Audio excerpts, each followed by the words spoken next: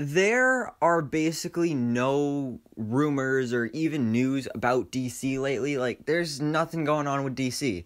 So that's why I've decided to go on ahead and make this fun video about the Justice Society of America in Black Adam, which. When it comes to this movie, we don't even know when this is coming out because it was supposed to release December 2021, but then it got delayed and we never got the new release date, so we have no idea when this is coming out. Probably sometime early 2022. We'll have to wait and see on that. But like I said, I want to talk about the Justice Society of America because in this t- in this movie we know they're playing a big role in the movie. And the main team is going to consist of of course Hawkman, who will be played by Aldis Hodge, Doctor Fate, who has not been cast yet. I'm really excited to find out who they cast in the role though uh, Atom Smasher, who will be played by Noah Centineo, and also Cyclone, who will be played by Quintessa Swindell.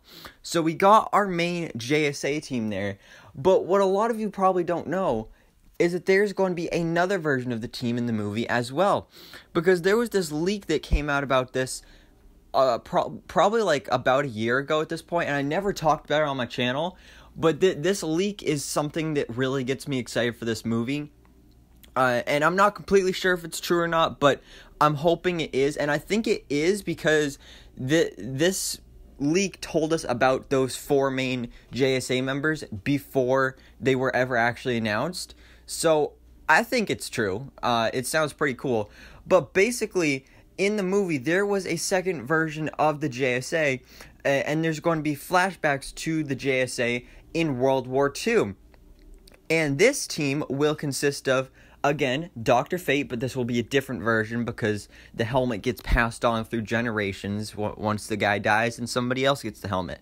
Then also Hawkman, uh, who gets reincarnated, along with Hawk Girl, who of course also gets reincarnated. So they die all the time, but then they just come back to life in new lives, and then they become Hawkman and Hawk Girl again. Then they die, and it's kind of just a cycle there. So Hawk Girl is not part of the present day JSA. But like I said, she's still reincarnated, so maybe she is still out there, and we probably will see her at some point in the future of the DCEU.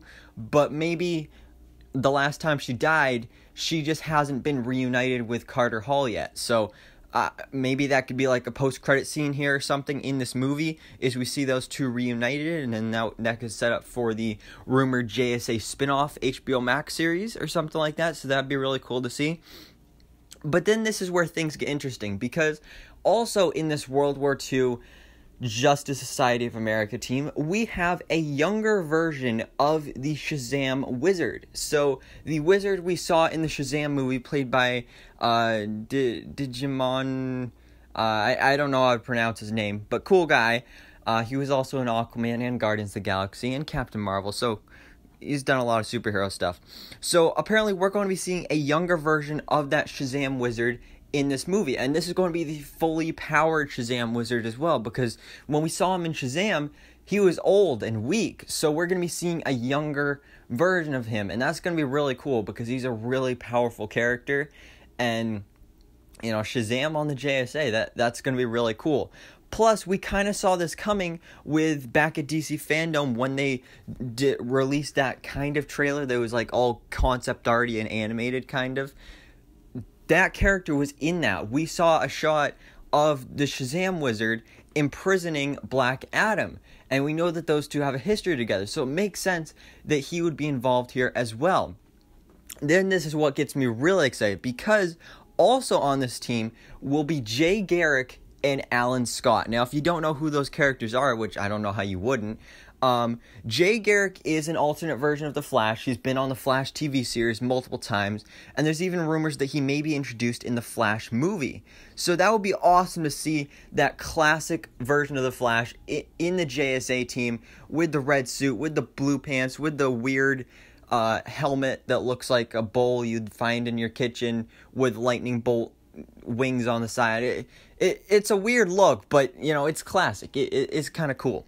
And then also, Alan Scott is like the OG Green Lantern, uh, who is also going to be a character in the upcoming Green Lantern HBO Max series. So I'm not sure if these two will be tied together, but this definitely gets me really, really excited for this. And like I said, I'm not completely sure if this leak is true, but I really hope it is because this just sounds really cool. Because with, with this new team, like you got some cool members there. I love having Hawkman and Doctor Fate and Atom Smasher is cool.